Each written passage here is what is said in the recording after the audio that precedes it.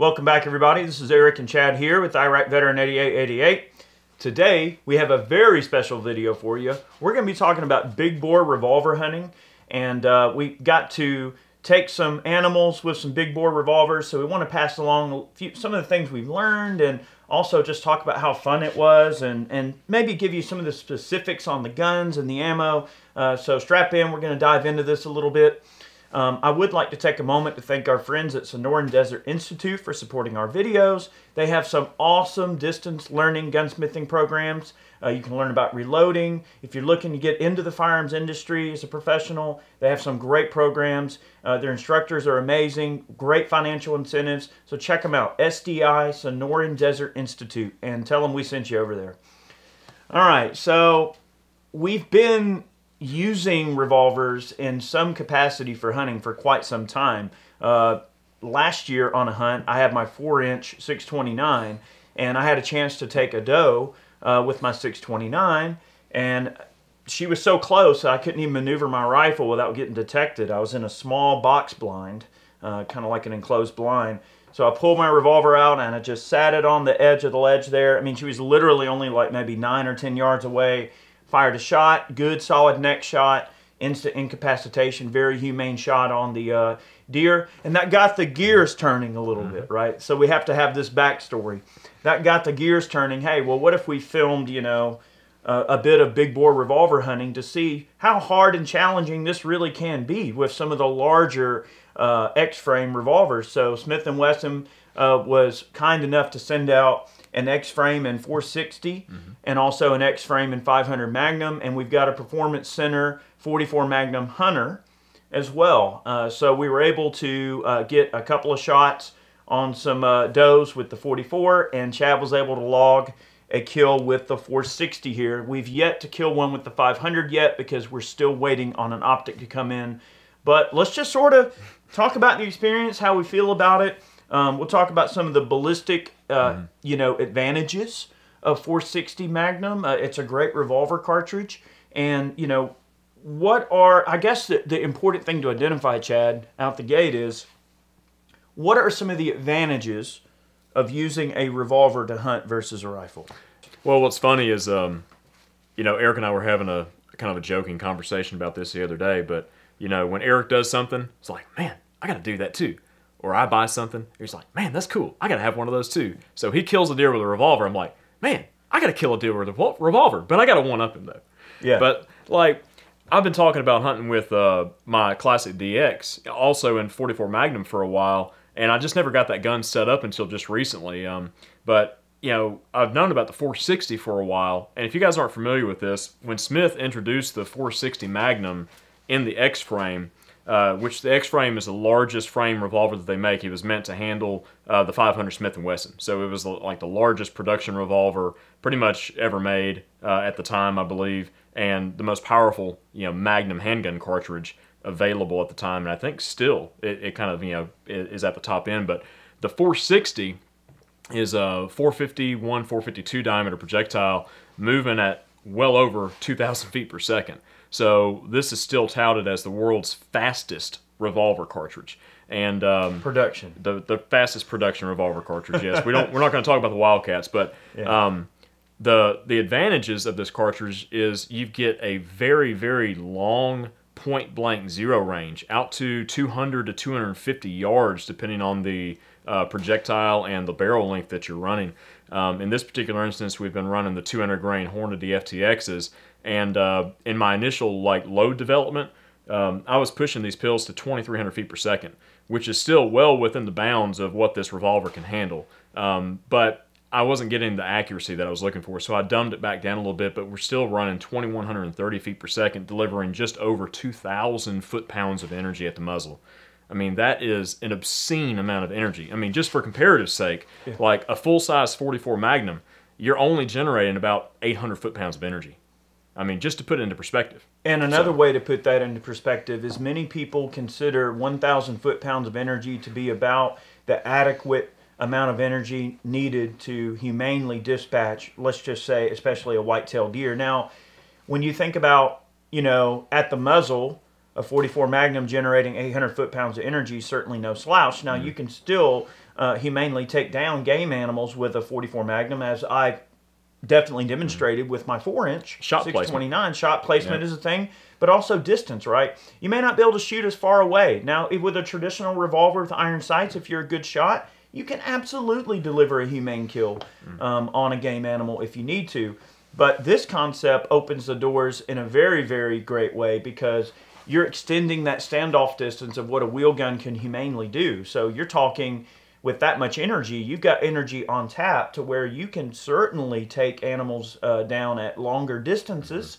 Now, I can't imagine firing um, this this pistol uh, at a game animal over 150 or 200 yards away. You'd have to have it really, really. We're going to talk about that Yeah. a little bit, but but you have to have it really, really well balanced and well um, sandbagged in order to make a shot like that. Um, it can be a little bit more difficult to hold on to the gun and, and have a good, consistent sight picture. We're going to talk about that a little bit. So, the advantages, you know, let's just say ballistically, um, you get better standoff range with the 460, and the 500 also is a behemoth of a cartridge in terms of revolver hunting. Yep. Yeah, you get you're you're getting into like rifle like energy with these cartridges. That's a good way to put it. So like, you know, traditional 30-30, you know, with a full length like say 20 inch barrel running like a 150 grain pill, you know, you're going to be right around that 2000 foot pound mark, you know, give or take. Um, so this is a revolver that can generate rifle like energies at the muzzle. Now, I will say these things are a little bit more challenging to shoot accurately. Okay, um, like Eric mentioned, they you, you really do need to rest them uh, very stable. Okay, you can't just really put it on the bar and you know be shaking all around and stuff. You got to be able to get it relatively still and just have perfect trigger control and discipline to shoot these things well. Um, It's not easy. No, but uh, as far as the setup goes, this is the uh, this is the ten and a half inch barrel model with the uh, muzzle brake attached on it. So long barrel, a lot of barrel length to get that powder burned up and really get that bullet pushed out of there uh, very fast. Um, most of the data that you see out there on like the factory loadings are from like the eight and three eighths inch barrel, I believe. That's kind of the more standardized model. I believe that's the barrel length that they first introduced this revolver in. But um, this one has a little pick rail on top. We've got some Warne Maxima rings with a Leupold. Uh, this is a two and a half to eight by 32 VX3 uh, with just a standard duplex. Um, it- it's a little bit obscene, but really to get the most potential out of these revolvers, you do have to run an optic on there.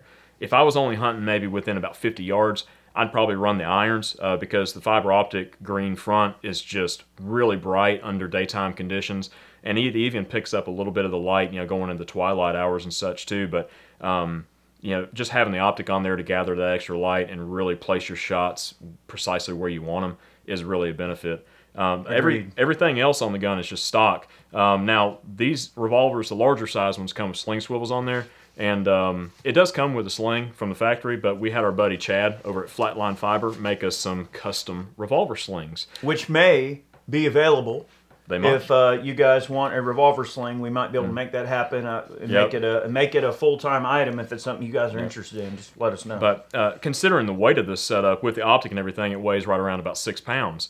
So when you think six pounds, all right, that's like a super extra lightweight, like mountain rifle. Okay, but you know those are going to have carbon barrels or real thin pencil barrels and things on there. You run like lightweight optics. They've got a lightweight like fiberglass or carbon fiber stock. I mean, this this is a heavy pistol, you know, a heavy revolver, but it totes really easily, like with the sling on there, just riding around and such. No big deal. Now, if we were to, let's say, we start looking for similar energy that this revolver can develop in a rifle, okay?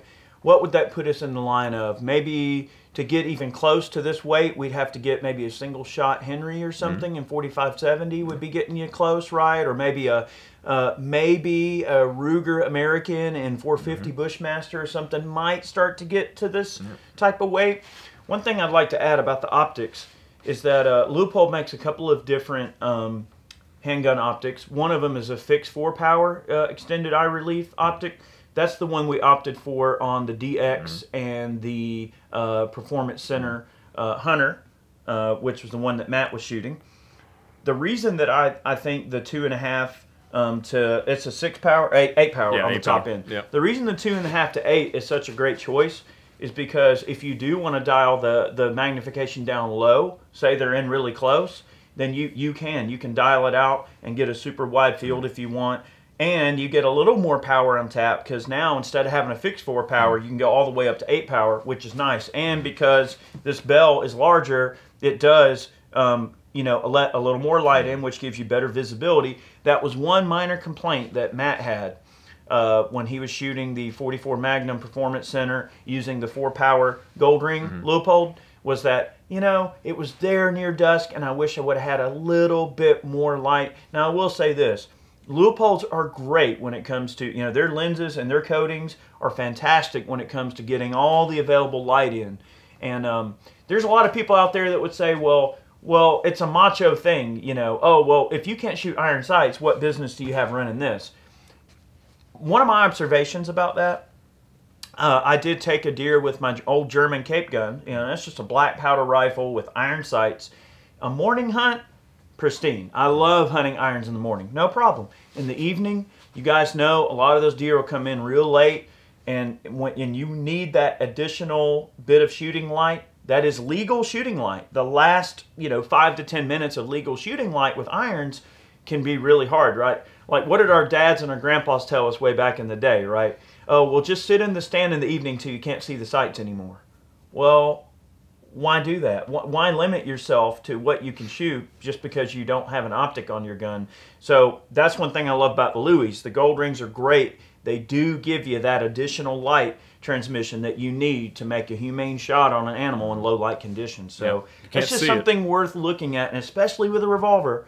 You know what I mean? Like I, w- I, I would want to have an optic on it for what sure. do they say? If you can't see it, you can't shoot it. Right? You can't, you can't shoot it if you can't Um, see it. So, like accuracy potential with these things. All right. So when I was doing all my load development, I went out and I figured out point blank zero range. You know that would give the the flattest trajectory. All right. Because we all know like line of sight is a straight line, right? But the bullet's to arc over your line of sight and then back down out of your line of sight to a certain point.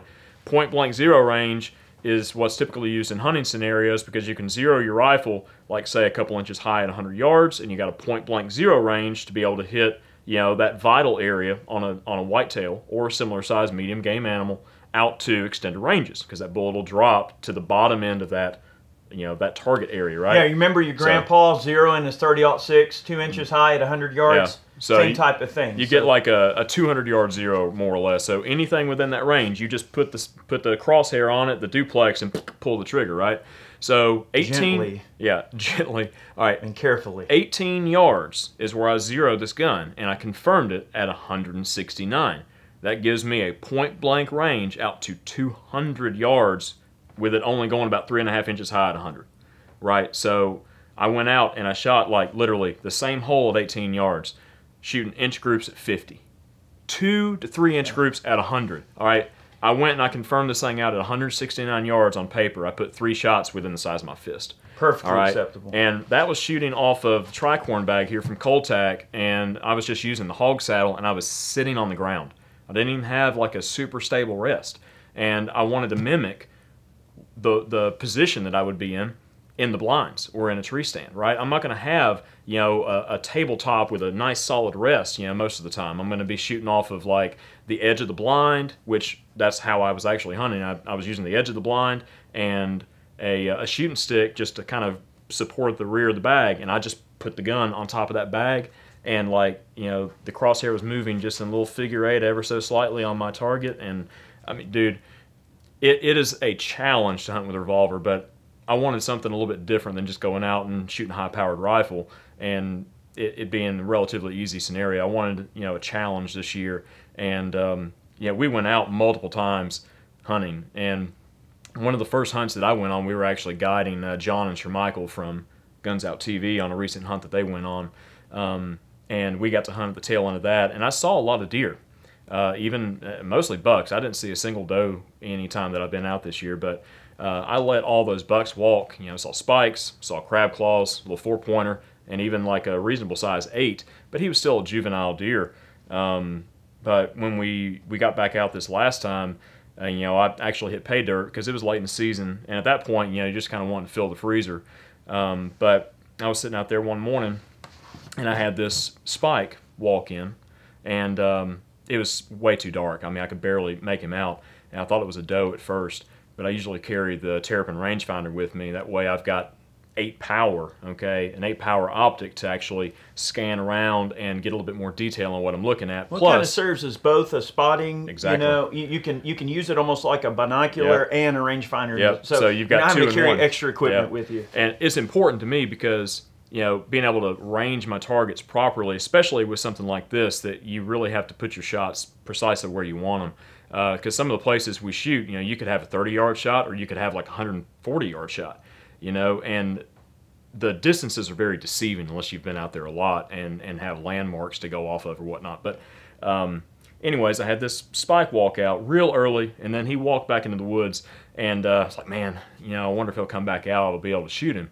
Um, but he wound up coming back out, and um, yeah, we were able to take him down.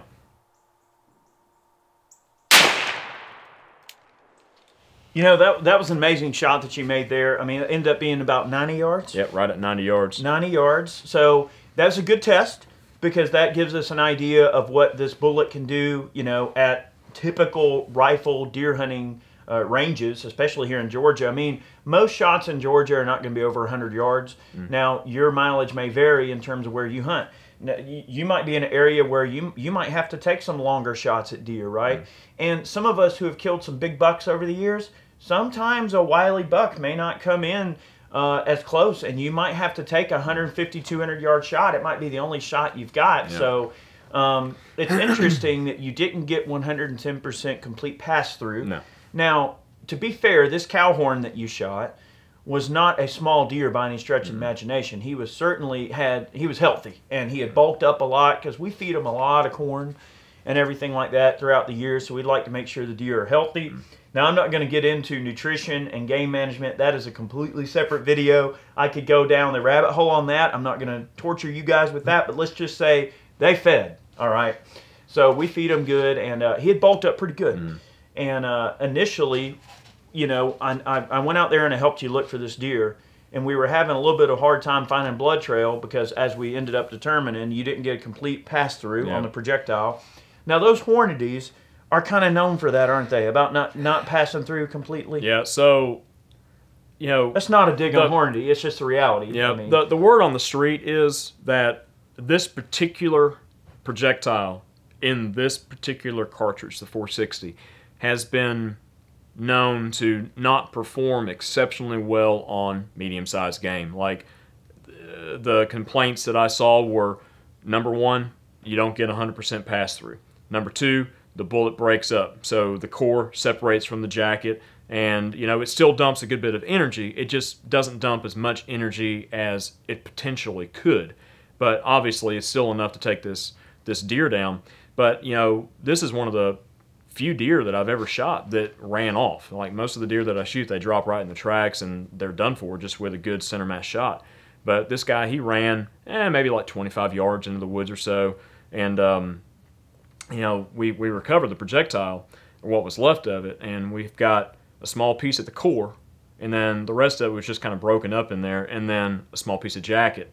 Now, like this comes out to 136 point uh, six grains remaining. All right, what we could recover. So that's like half six, its weight. 68% weight retention. So most hunting bullets, you know, you want at least like 90% weight retention. And the projectiles that I really wanted to use for this uh, were the Barnes uh, XPBs. They have a 200 grain 451 that's specifically designed for revolver applications. Um, for the 460 and you know even for like the 454 Casull and, And those such like that. projectiles are unobtainium. though. They're unobtainium. Like I've been looking for four months for those projectiles, and they are non-existent locally, online. Uh, but once I can find those projectiles, I want to try using the Barnes Solid because, you know, word on the street. I mean, Barnes, you know, bullets for hunting are exceptional, and we've shot some of the 275s in the 500 before, and those bullets are pretty boss. We've They never hunted, stuff. yeah, we've never hunted with them before, but we've done some destruction videos and stuff, and I've I've chronographed them. And buddy, I want to try some Barnes in this thing. I want to talk know? a little bit about wounding characteristics. Yeah, let's go. briefly. I, I don't want to spend a lot of time on this, but I think it's important for this application now. Like the thing I like about the 460 and the 500, it's a big old honking bullet, mm. right? You've got some good velocity, so there's a lot of things to like there. Uh, now, unfortunately, we weren't able to log a kill with the 500 just yet. We will do that in this upcoming deer season. Who knows? We might even go shoot some hogs. Uh, we do have hogs on the property, so um, I'll put some cameras out and I'll see if I can figure out where the hogs are coming through on the property. And we might do some daytime hunting uh, with these things and see if we can log a couple of uh, hog uh, kills with the revolver with the 500. But in terms of the wounding characteristics, like one would ask, okay, well, what if you could take a gas check line type projectile uh, with a good flat nose on it and some good heavy weight and just load it on a case crush and charge of powder and get your accuracy node where you want it, your velocity node just right to where the gun is really delivering what you want it to deliver. Now, granted, I'm not sure we could push a cast bullet that fast, uh, but being, you know, maybe a heat treated linotype with a gas check, Powder coat it. possibly, possibly. If you powder coated them, you might be able to get them moving fast. All right, so a solid, for instance, like um, some of the Woodleigh projectiles, the Lehigh projectiles, uh, some of the Underwood offerings, you know, they're just solids. Um, but with that big flat meplat on that bullet, see, the nice thing about this particular bullet from Hornady, the FTX, is that it flies nice and flat. It's got a better, a higher BC, which, you know, translates to better uh, trajectory at longer range. Now, all right, if we were to do a big old honking, heavy, flat nose projectile, now are we going to get that 200 yard uh, power that we expect, uh, you know, and the flat trajectory? Likely not. It's going to, you know, drop a little more. Now, we don't know what that drop is yet because we haven't really done the testing, but I would imagine the nice thing about that flat nose, though, being a solid and it's not going to lose any weight. It's going to push a clean hole all the way through. It's going to have great wounding characteristics. You have to remember, guys, that animals have been killed with cast bullets for years and years and years and years, right? Uh, a good old cast bullet is nothing to uh, shake a stick at. They certainly will do the work. I've loaded up cast uh, rounds for the 500 Magnum that have worked exceptionally well. Um, it's got generous case capacity. The bullets are heavy. So as long as your shots aren't maybe, let's just say for the purposes of using a cast bullet, let's say you're not going to shoot over 100 yards, I would imagine that application be downright perfect. Um, it'd probably shoot pretty flat out to 100 and still have some really good energy. The nice thing about big bore hunting revolvers and big bore rifles in general, like 4570, 500 Magnum, whatever, what have you, is that if you get complete pass through, what you're looking for is you've got a lot of bloodletting. So once that projectile gets through, especially if it's a good lung shot, you look down, you've got pink frothy blood, and more than likely the deer has not gone far at all, if you know barely off the trail. So having that good wounding characteristic in a bullet design is a super crucial part of this package being a successful package. Now, obviously, the Hornadies did the job. One of the things I wanted to mention earlier on um, is one of the heavy. no, one of the unique features of the 460 specifically is uh, the way the barrel is rifled. So they have what's called a gain twist rifling. They start out in the throat with straight rifling, and then it gradually increases to 1 in 20 by the time the projectile gets to the muzzle. So one of the benefits of that gain twist rifling is that the guns don't torque as bad as some of the other big bore offerings. Like the big 500s, you know, they they want to torque over because you're you're kind of, you know, spinning that bullet so fast right out of the gate, it really just twists the gun almost out of your hands. This gun is a pleasant uh, revolver to shoot. Um, Especially and- with that brake. Oh yeah, absolutely. The weight and the brake really contribute to that. But uh, Eric and I were making the observation last time we were out shooting this gun, the 500, and like the four-inch 44, uh, the 629s that we have. The 629 has more felt recoil than this gun does because number one, it's lightweight, it's a little short barrel. You know, it doesn't have any gain twist rifling and whatnot. And we're running full power, 240 grain loads out of it. Yeah. um, but th- those guns are half the weight of this guy, and it, it you think like 460 big bore, you think it's going to be a complete like powerhouse and it's going to jump out of your hand. It's really not bad at all. These guns are a pleasure to shoot. Yep. So one thing I'd like to add, so I think at this point in the video we can certainly surmise here, right, that all right, pros on this. It's easy to get in and out of the stand with it. Super easy to carry around. Nice and convenient with the sling here that we've got from Flatline Fiber, which are available. Hello. Ding. Go pick yourself up one. But it's a very easy gun to carry around. Uh, the optic does generate some good light transmissions, so you get that similar type of light transmission you're going to expect out of your deer hunting rifle. So that translates well. Uh, stainless steel on the finish, so that's kind of nice. Keeps it from corroding when you're out in the in the elements. Oh, Uh, we so were. that's we that's were a out, pro. We were out in the elements. That's certainly sure. a pro. Uh, a few cons that I, I could think of is uh, one in the field. Uh, it certainly can be a considerably more difficult setup to set your shot up and keep it steady and control the gun. So you do have to be a little bit more exacting and precise in your movements. Uh, another con that I could think of would be, you know, having to carry around extra gear like the like. Now you don't have to have this tricorn bag, but it definitely makes life a ton easier. Uh, so one con could be, oh well, you have to carry an extra shooting bag, an extra shooting stick. Uh, don't even get me started on the extra stuff you got to carry because filming deer hunting is really hard. And Chad spent a lot of time. You know, he had to walk in with his tricorn, the revolver, the shooting stick, and carry in all the filming equipment all on his own. And I did the same thing. Um, I did several sets with a revolver, and I wasn't able to get, um, you know, a kill on film. Um, but that's just it goes to show it, you are going to have a little bit more gear to carry around. So that's just something to consider. Um, but I would I would say the pros outweigh the cons. Uh, if you want to challenge yourself, I think a, a revolver hunting video or you know doing anything related to revolver hunting is certainly going to be a challenge. It was challenging for us to put this There video together. That's it. See, easy. You There just have to solve the problem, That's right. right? Hill people, little tip pouch here. Hang the bag on there. There you go. Revolver slings over, and then I can tote my camera on the tripod. I can tote my shooting stick.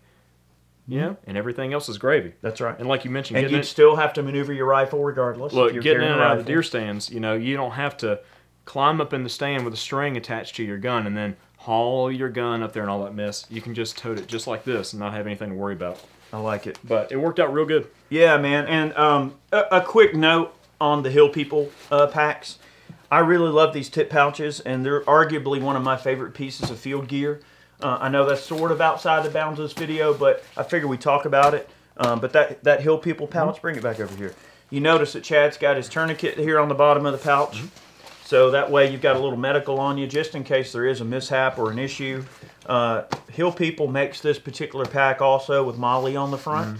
Uh, so you can add some of your little MOLLE goodies and things. But this is a great way to carry around uh, your rangefinder, your wind bottle, all of the things you carry. And what I like to do is if I'm going to park my truck or something, or walk in, or you know whatever, I don't like to have my keys in my pocket, my wallet in my pocket, and all of my crap in my pocket. I, I like to have everything off my waist so I can maneuver quietly and not, not having anything jiggle around or make noise.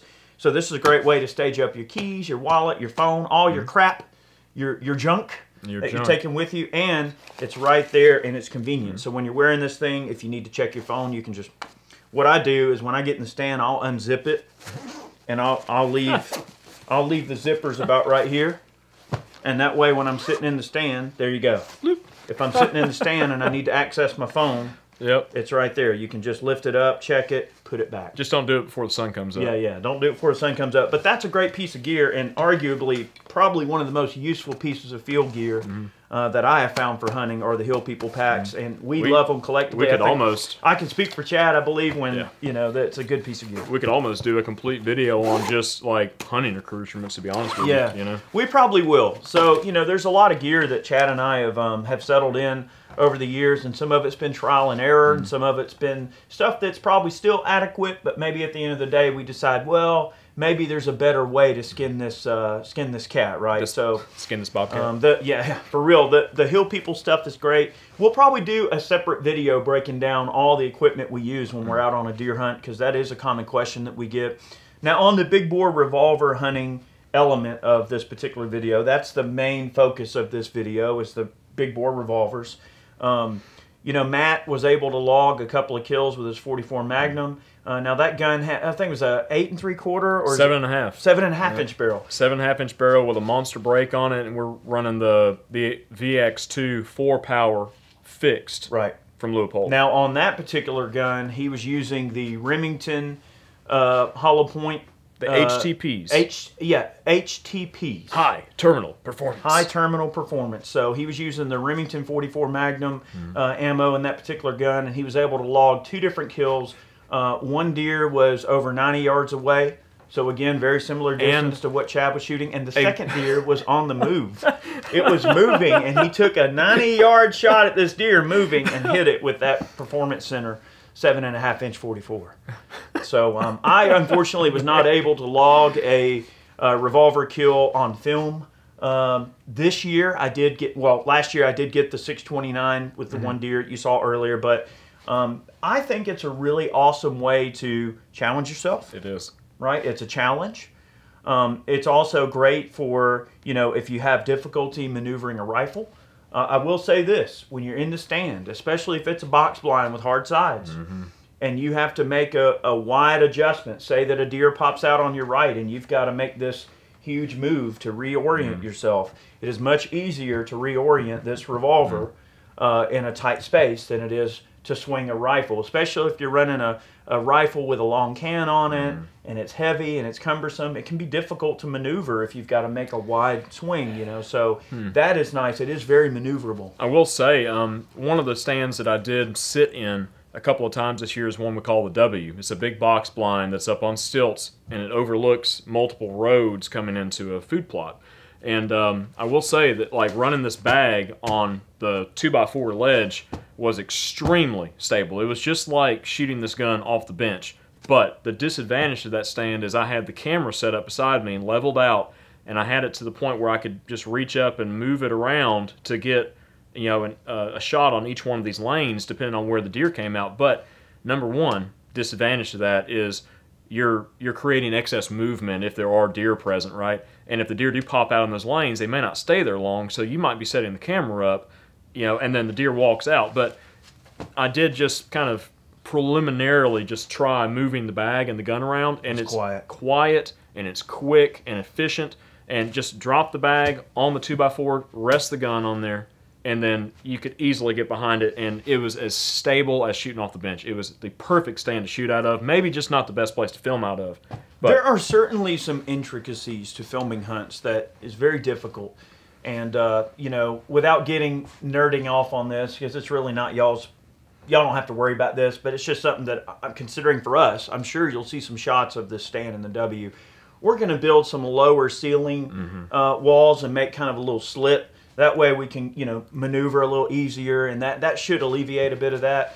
So I guess that would be one important thing too. If you're going to film your hunts, uh, is to make sure you understand that you know you've got to be able to maneuver cameras and gear and people quietly and efficiently, and you've got to really shoot the deer twice because you've got to get the shot set up, the camera shot, then you've got to make the actual shot, and it can be a lot of pressure on a on a shooter. So um, we really do relish the opportunity to do uh, a lot of hunting content, and we really enjoy doing it. I enjoy running a camera, and uh, we had a great time with Shermichael. One thing I'll just mention: we're going to be doing another video about some of our experiences on that hunt, so stay tuned for that. But there's also a Warrior Poet episode coming up that I'm, I'm pretty sure we're all going to be in because we were all there together, and you're definitely going to want to see it. And it involves Shermichael and John at Guns Out TV and their first deer hunt that we were very lucky, lucky and privileged to be a part of. So make sure you go over to Warrior Poet Network and check that out. Shameless plug for John and Yep. Warrior Poet Network, but check it out and make sure that you, uh, you know, that piece of content you're definitely going to want to check it out. I think you'll like Um, it. I will say, you know, this year I hunted more this year than I think I ever have in a single deer season, um, which I'd like to hunt more this upcoming year. Uh, well, even more. But um, you know, Eric mentioned you know shooting the deer twice, right? I think I enjoyed filming these animals this year just as much as I did taking one. I agree. And I wish I could have, you know, put more deer in the freezer, but you know, a couple is enough, right? But just filming them and seeing, uh, you know, their behavior and really observing them and learning more about these animals, you know, in their natural habitat. And we got to see some really cool stuff. I mean, we got to see deer doing scrapes. Yeah. You know, we got to see all kinds of wildlife, barred owls, all kinds of crazy stuff while we were out there. It's, It's- it's, a lot of fun. It's It so really neat is. to observe their behavior You know what I mean? And that's how you learn about deer, and that's how you become a better deer hunter is by observing these animals and their movements. And uh, probably my favorite shot of the year. Uh, and I know we're probably going to show this off in the next video, but I can't help it. I'm, I'm going to make Chad look for it because he's, he's going to know what I'm talking boy, about. here we go. But the shot where Shermichael and I were in the devil stand, and this big bruiser buck, you know, for a South Georgia buck, it's a big buck. He comes in and I'm filming him, and it's just so cool to be able to run the camera. Now, Shermichael couldn't get a shot at this deer. We're going to go over this in a future video, but it's so cool when you're filming them because you get to kind of relive that moment and you know how you felt and, and your heart was jumping out of your chest because you've got a game animal in front of you. I mean, it's just, it's so cool to film it in addition to hunting. So I think that filming deer hunting is also a very crucial thing that we can do because it brings people into the fold. You know, folks that might not understand what it's like to be in a stand deer hunting mm. or to go out and, and to pursue these animals, it gives them a glimpse into the process, into what goes into it, the, the moment that you are setting up the shot, the observations you're making on these animals. All of that comes into play, and I think it's very important that we make the effort to put out this type of content because it helps people understand, you know, what it's like to get out there and hunt. And hunting is only a tiny little part of the Second Amendment, right? Uh, you know, hunting is is an awesome way to get back to our heritage as hunters and gatherers, and as you know, harvesting our own food. I think there's certainly an element to that that we should certainly not ignore. Absolutely. Yeah, 100% right. So, any other things you want to add on big bore revolvers? I Pros, mean, cons, observations. I think that we pretty much covered it all, but I know I know this upcoming year I'm going to be hunting with the 460 more, and hopefully I'll be able to have a different load developed by that time and get it really dialed in and practice more with it. Um, but like at this point, I've probably fired about 200 rounds to this gun, um, and you know, just if you shot revolvers in the past, uh, this is definitely a step up. You have to kind of change your like like we mentioned, you have to change your technique just a little bit to shoot these these big bore revolvers, especially off of like a bag rest and such. Um, but very very exciting taking that shot, and I want to do more of it Dude, for sure. We're and- going to. And look, look. All right. So if you How guys about are, some hogs? hogs, yes. All right. If you guys are still here, all right.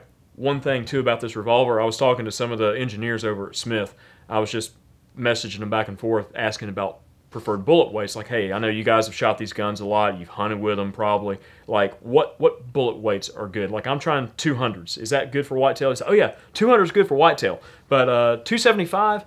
Uh, yeah, don't don't use those in whitetail. It, it it blows them in half Oh no! right? but you can shoot larger size game as well. I mean, big bears, elk, right? Moose, all kinds of crazy stuff with the big powerhouses. They've got uh, bullet weights up to, I believe, like 350, maybe 375 in this cartridge. So you've got a wide range of projectile choices that'll work in this revolver, which is so awesome, you know, to have such a wide range of projectiles for multiple purposes. All right. Anyways, So, what we're going to end this video with, what do you want to see us hunt with this on the North American continent? All right, Oh, right now. Here we like, go. All right, deer season's over, so there's not a lot of options for us to hunt deer uh, with this thing, but there's other things we can hunt. 400 yard alligator headshot. Oh, no. No. But we're not done with these revolvers. So this is just sort of a, a, peek under the hood, if you will, and First an experience. intro into this big bore revolver hunting. So you're going to see more of this stuff, and not be telling tales out of school, but there might be even be some interesting new wheel guns that we might be playing with too. So that that's neither here nor there. But let's just say there might be some other cool things that we're going to be talking about. Have a great day. Uh, Happy New Year, by the way. This is the first video we've made of 2022. So uh, Well, definitely a, a big thanks. This uh, is the first video we've filmed in 22. the first one we finished. 2022, yes. Let's put it that way. All the other ones, they were old. You know, they were just in the pile. But a big thank you to all the folks that have supported us over the years. We hope you enjoyed today's video. We've got a bunch of great content coming up this year. This is the first of many. Um, have yourselves a great day. Many more on the way, and we'll see you soon. See you guys.